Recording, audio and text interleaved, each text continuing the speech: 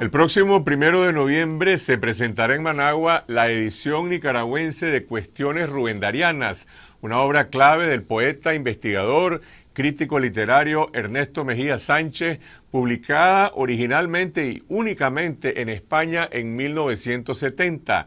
Este libro fundacional sobre el estudio de la obra de Rubén Darío se publica por primera vez en Nicaragua en una edición de la colección cultural de Centroamérica de Fundación 1 con una introducción, selección y notas y ampliación de los trabajos de Mejía Sánchez de Julio Vaya Castillo en homenaje a su maestro, el poeta Mejía Sánchez, perteneciente a la generación de 1940 de la post-vanguardia, con Ernesto Cardenal y Carlos Martínez Rivas, vivió casi toda su vida en México, donde además de producir su propia obra, desarrolló una carrera como crítico y académico, profesor e investigador de la Universidad Nacional Autónoma y el Colegio de México.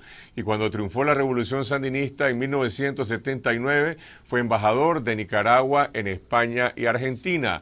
El año pasado el Festival Internacional de Poesía de Granada fue dedicado a Mejía Sánchez y también la revista literaria El Hilo Azul rindió un homenaje a su vida y su obra. Y ahora finalmente se publicará en Nicaragua este libro de más de 600 páginas que reúne la mayoría de sus ensayos sobre Rubén Darío y el estudio de su prosa, sus cuentos desconocidos y su poesía. Y para conocer más a fondo sobre este gran acontecimiento cultural, nos acompaña el editor de Cuestiones Rubén Darianas, Julio Valle Castillo. Buenas noches, Julio. Buenas noches, Carlos Fernando. Muy agradecido por invitarme a que comentemos el libro del maestro. Publicar este libro en Nicaragua, que desde el primer momento, en 1970, tuvo un gran reconocimiento internacional, es como cumplir una deuda de medio siglo con Mejía Sánchez. ¿Por qué se ha esperado tanto? Bueno, primero porque Nicaragua entonces, en los 70, pues no importaban las cosas, se, publicaba lo mismo. ¿eh? Y Mejía Sánchez además era un hombre estigmatizado de antisomocismo. ¿ve? Eh, aunque él pues, siempre fue sandinista, escribió las lecciones, una lección de Sandino y era, él era opositor. Y incluso hasta se dijo que tuvo que ver en el ajusticiamiento del viejo Somoza. Eh, entonces lo, proscribían. Nunca los ministerios de educación, nunca, a no ser la Universidad Nacional Autónoma que lo, dio, que lo hizo cuando el doctor Carlos Tunerman era rector, lo hizo eh, doctor honoris causa. Él falleció en 1985. ¿Te dio a vos alguna instrucción de publicar este libro, de ampliarlo, de incorporar textos que no están en la edición de 1970? Carlos Fernando, yo llegué a México porque nuestra familia, la familia Mejía Sánchez y los Sánchez, eh, y los Castillos eh, eh, eran muy amigos. Entonces Mejía ah, me aconsejó que fuera a estudiar allá letras y todo, porque era mi vocación, ¿verdad? No me hice sacerdote, porque mi abuelo me dijo, no te hagas sacerdote, papito. Yo te veo cómo ves a las muchachas. Me, ¿Y para qué vas a ser un mal sacerdote? Entonces, me estudié lengua y literatura hispánica eh, y en la Universidad Nacional Autónoma de México. Pero mi verdadera universidad fue Mejía Sánchez. Eh, Mejía Sánchez me enseñó a hacer recortes de periódicos de cosas que nos importaban. Mejía Sánchez me, me hizo leer eh, metros de su biblioteca. Mejía Sánchez me hizo conocer a Alfonso Reyes. Mejía Sánchez me hizo hispanoamericano. Mejía Sánchez me hizo indio mexicano, náhuatl. ¿eh? Eh, entonces, cuando él de alguna manera me había formado, pues, me dirigió las tesis, la tesis, el siglo de la poesía nicaragüense es una, idea de él. Eh, me empezó a, ya enfermo, a darme consejos que nos reíamos, porque Mejía se reía de él mismo y de todo el mundo. Pues era un hombre con un sentido del humor. Pero sobre este libro, él tenía la expectativa de que se publicara en Nicaragua, que se ampliara el él siempre quiso que Cuestión de Rubén Dariana, que es uno de los grandes libros que los darianos de América y España eh, han escrito, eh, se publicara en Nicaragua. Era, era su ideal. ¿Cuál es el principal aporte de cuestiones Rubén Dariana? ¿Se enfoca más en la prosa o en la poesía de Darío? No.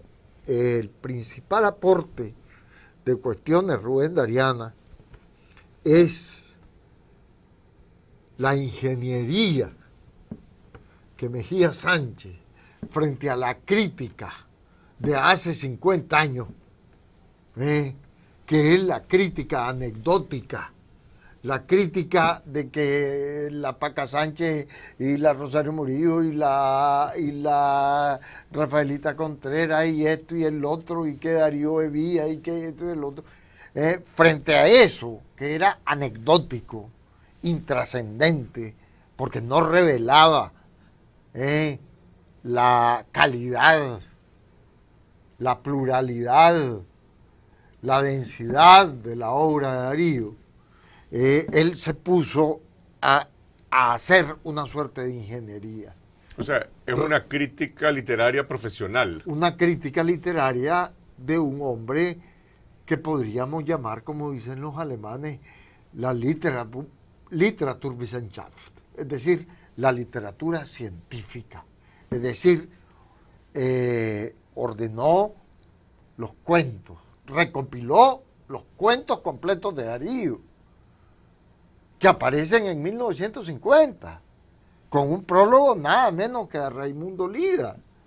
Nadie se sabía que Darío había escrito unos cuentos, pero no que era un gran cuentista y que era un magnífico narrador que intentó novelas. ¿eh? luego se dedicó a fijar el texto, la letra, a ordenar la crítica textual de los poemas de Darío y se publicó eso en México, en el Fondo de Cultura Económica, y ahí eh, con prólogo de Anderson Inver.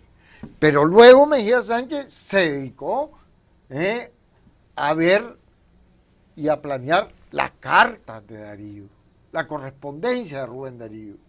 Eh. Luego se dedicó a las relaciones literarias de Darío con Unamuno, con Juan Ramón Jiménez, eh, con don Pedro Enrique Sureña como crítico, don, Pedro, con don Alfonso Reyes. Eh.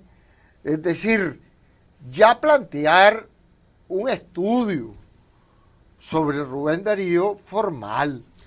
Julio, el biógrafo de Darío, el profesor Edelberto Torres Rivas, llama a Mejía Sánchez el detective de Rubén Darío. ¿Qué descubrió Mejía Sánchez en la biografía, en la vida de Darío o en esas eh, relaciones literarias?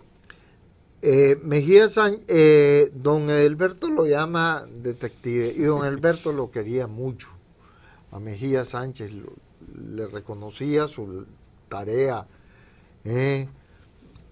Mejía Sánchez descubrió cuentos, artículos, poemas, cartas, descubrió una enorme cantidad, incluso eh, descubrió al Darío político, metido con Zelaya en la revolución, denunciando a los Estados Unidos, a Roosevelt, las palabras y los actos de Mr. Roosevelt, los asuntos de Nicaragua. descubrió mucho documento perdido.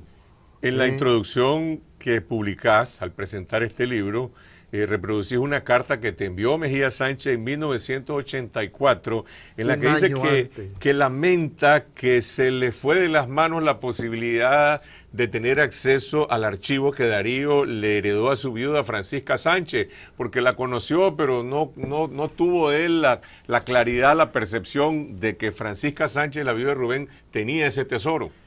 Eso es así. Eh, Mejía Sánchez conoció a Francisca Sánchez, viajó con a Navalsaus, con Carmen Conde y Antonio Oliver Belmás a, a, a ver qué había. Pero Mejía Sánchez estaba plenamente convencido de que algunos pseudointelectuales sudamericanos o más o menos eh, intelectuales habían saqueado mucho a Francisca por su situación económica. Eh, había, Mejía tenía la convicción de que había hecho nada menos Alberto Giraldo eh, el archivo Rubén Darío.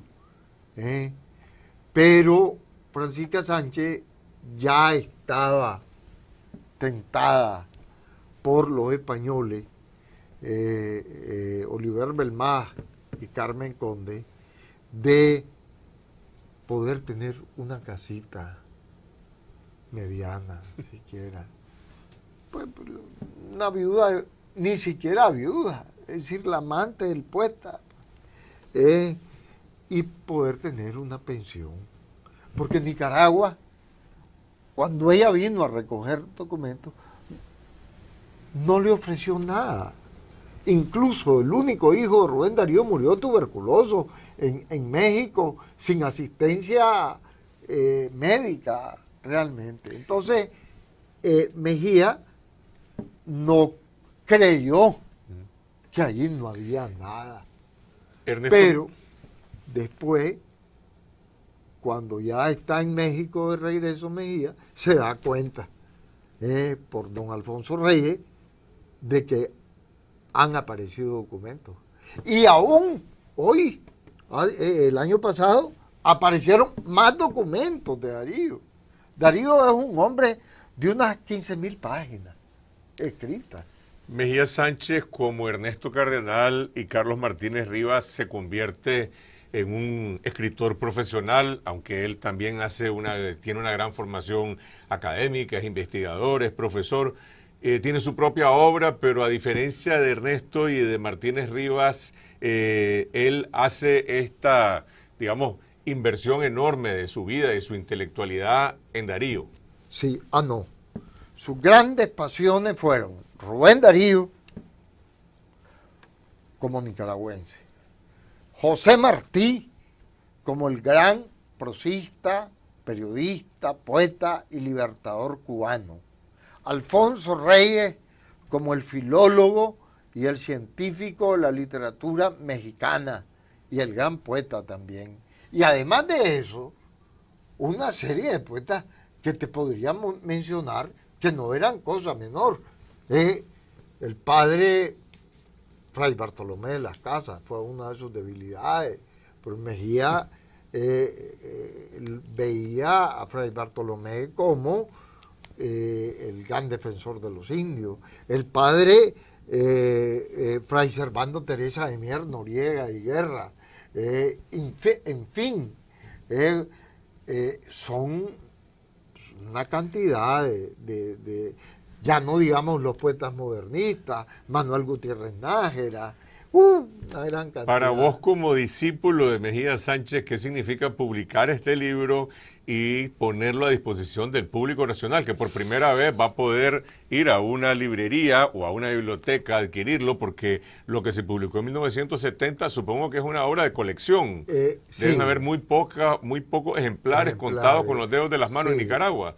Muy poco y ahora va a estar pues al público. Al público. Bueno, para mí, primero una obligación moral. Porque aunque nos reíamos de nosotros mismos y, él era un hombre con un sentido del humor, eh, me decía las cosas riéndose, pero con una certidumbre de que era testamentario lo que me estaba diciendo. ¿Ves, Julito? Eh, estos cuentos de Darío no están, no aparecen en, mi libro. Me los, me los recogí. Si no se está muriendo. Mentira, yo sabía que estaba muriendo. ¿Eh? Ve, me completás cuestiones rubendarianas. Ve, me completás tal cosa. Me completás. Eh, eh, se recogen todos los prólogos de Alfonso Reyes. Se recoge tal cosa. Me lo decía. Para mí es una obligación moral. Y junto a esa obligación moral una gran alegría, fíjate, con dolor me, me da pesar que no lo vio en Nicaragua. Me, pero bueno, ¿qué hacemos? Esa era la, esa era la Nicaragua que teníamos. Eh, y, pero me da una gran alegría poderle cumplir al maestro, eh, ser leal, ser fiel a un hombre que me, que me alfabetizó, que me, que me desanimalizó. ¿Eh? Gracias, Julio. Próximamente, en los primeros días de noviembre, se hará la presentación de cuestiones rubendarianas en la tierra de Ernesto Mejía Sánchez, gracias al trabajo de Julio Valle Castillo y también al apoyo de la colección cultural eh, Centroamérica de la Fundación. Gracias por ver este video. Si les interesa conocer más sobre el periodismo independiente que realizamos, los invitamos a suscribirse a este canal para recibir todos los reportajes y entrevistas de esta semana, esta noche y confidencial.